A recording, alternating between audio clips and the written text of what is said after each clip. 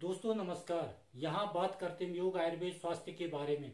किस प्रकार से अपने आहार विहार को ठीक रखकर, संतुलित रखकर रोग मुक्त रहा जाए, सुखमय जीवन जिया जाए? मैं डॉक्टर मनमोहन लखेड़ा आज बात करूँगा भारतीय परंपरागत चिकित्सा पद्धति के लिए बना डिजिटल लाइब्रेरी के बारे में। भारतीय परंपरागत आयुष चिकित्सा के लिए बनी traditional knowledge digital library T K D L दोस्तों, आप जानते हो कि जब से भारत के प्रधानमंत्री माननीय श्री नरेंद्र मोदी जी ने 2014 से भारत का प्रधानमंत्री बने, तब से दोस्तों, प्राचीन परंपरागत चिकित्सा पद्धति जिसे दोस्तों आयुष के नाम से भी जाना जाता है, तब से दोस्तों इस प्राचीन भारतीय गौरवशाली चिकित्सा पद्धति में निरंतर नए नए काम होते जा रहे हैं नया नया इतिहास लिखा जा रहा है। सबसे पहले दोस्तों, माननीय प्रधानमंत्री ने इस परंपरागत प्राचीन चिकित्सा पद्धति के लिए अलग से आयुष मंत्रालय का निर्माण किया, आयुष मंत्रालय को बनाया। फिर दोस्तों, विश्व योग डे, विश्व को योग का दिवस दिया। फिर दोस्तों, आयुष में नमस्ते पोर्टल, आयुष शोध केंद्र, आयुष चिकित्सालय, आयुष कॉलेज आदि दिन प्रतिदिन आयुष में कुछ न कुछ होता जा रहा है। जिसका नतीजा दोस्तों साफ़ दिखाई दे रहा है।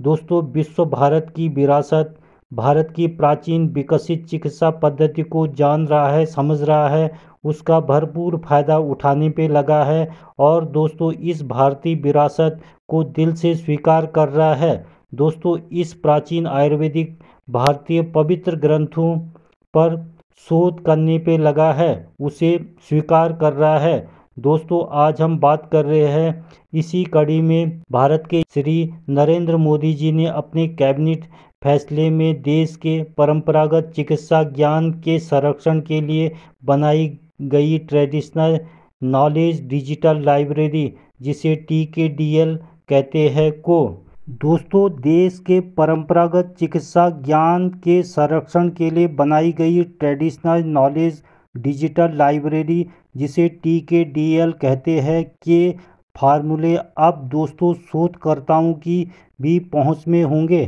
दोस्तों, अभी तक सिर्फ़ चौदह अंतर्राष्ट्रीय पेटेंट कार्यालय ही इस डिजिटल लाइब्रेरी से जानकारी ले पाते थे, ले सकते थे। दोस्तों, अब भारतीय शोधकर्ताओं को भी इसका लाभ मिलेगा। हालाँकि दोस्तों, उन्हें इसके लिए कुछ शुल्क चुकाना होगा, देना होगा। तो माननीय प्रधानमंत्री श्री नरेंद्र मोदी की अध्यक्षता में हुई केंद्रीय मंत्रिमंडल की बैठक में यह निर्णय लिया गया। दोस्तों, भारतीय परंपरागत चिकित्सा ज्ञान पर विदेशों में हो रहे पेटेंट को रोकने के लिए केंद्र सरकार ने 2001 में दोस्तों टी के डी एल बनाया था। दोस्तों, इसमें आयुर्वेद, यूनानी सिद्धा सेवा रिक्पा और योग के 4.24 लाख फार्मूले को पाँच अंतर्राष्ट्रीय भाषाओं, अंग्रेज़ी, जर्मन, स्पेनिश, फ्रेंच और जापानी भाषाओं में डिजिटल फॉर्मेट में तैयार किया गया था। दोस्तों, इसके बाद चौदह अंतर्राष्ट्रीय पेटेंट कार्यालयों को इसके निशुल्क एक्सेस प्रदान किया गया था।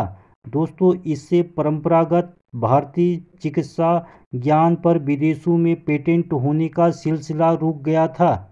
दोस्तों, टी के डी एल अपने मकसद में तो सफल रहा, लेकिन दोस्तों, इसके चलते भारत में भी इन क्षेत्रों में अपेक्षित शोध नहीं हो पा रहे थे।